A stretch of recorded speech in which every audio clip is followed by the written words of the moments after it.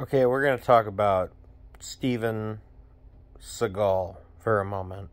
Or some people pronounce it Steven Seagal. I think that's mainly Howard Stern. I don't know, I haven't. I can't think of anybody else that's pronounced it that way. But, anyways, Steven Seagal, as I've always called him. I grew up loving his movies. Um, Above the Law was awesome. Uh, Marked for Death was darker. It was a little rated R for when I was a big Steven Seagal fan, so that movie kind of scared me a little bit. If it's the one I'm thinking of. Um, I, was, I, I Under Siege 1 and Under Siege 2 were my favorites. I love those movies. The first one had um, Baywatch girl boobies in it. I can't think of her name. Under Siege 2 was the pinnacle of Steven Seagal. And I'll fight anybody who disagrees with me. It, it was the pinnacle, the the peak. It had uh, a rapper, or I don't know if he was a rapper. There was a black guy in it which you know is uh, typical Steven Seagal. He likes to pair himself up with uh, black person that might be famous. I think I think there was I don't know. Anyways, great movie. The fight scenes were excellent. Um, but really what made that movie it was first off it was the cinematography not the cinematography. The the choreography, the fight choreography was good.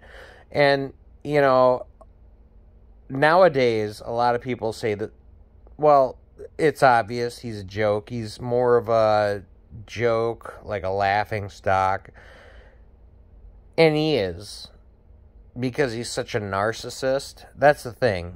Steven Seagal is a huge narcissist. But people take it too far, I think, and take away what that like they they eliminate I mean, let's face it, okay? The guy was talented. He was talented. People try so hard to make Steven Seagal look like a total fraud, like a talentless asshole. And he was an asshole and he was a liar and a narcissist. I mean, you watch the interviews with him, it's fucking hilarious. The jokes write themselves. I love the jokes. I never stop laughing at him in his later work, like Lawman or whatever the fuck it was called. Hilarious.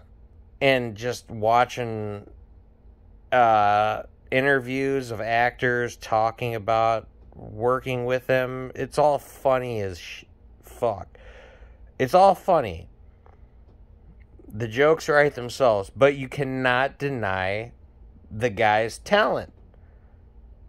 Like, he knew how to shoot action scenes. That's why he became popular in the first place. Like, all these people are trying to say that he's just a fraud. He, he knew nothing he was just a shit talker. No, his action scenes were great in the early 90s. Under Siege 2, great movie. Uh, Above the Law had probably the most realistic, brutal action sequences, as far as I know. I can't remember very many of his movies at this point, but back in the day, they were top notch.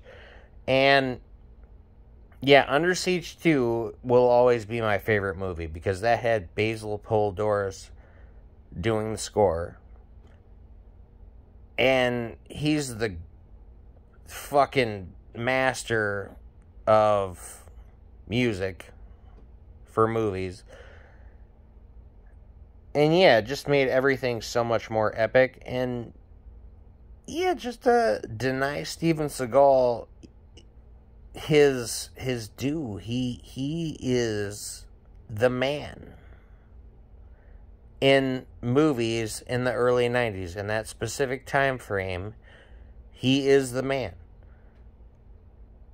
Like, I laugh my ass off as much as anyone else, and I find his backstory fascinating.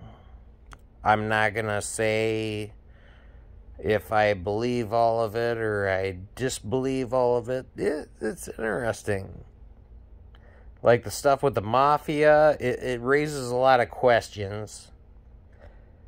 Uh, and, you know, hearing other actors talk about him, you always gotta look at both sides because all actors have egos, so there's clashing egos there. So, I mean, it doesn't look good for him because every single actor that talks about him, the ones that have worked with him, all say he's a fucking asshole.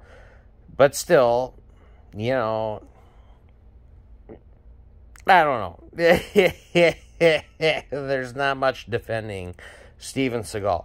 But I will say, you can't call him a talentless hack because his movies in the early 90s were solid.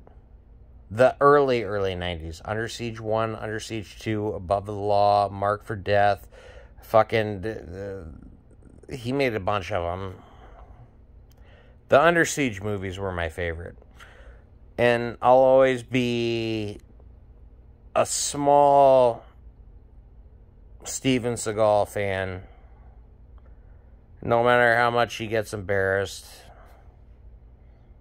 it's part of my childhood.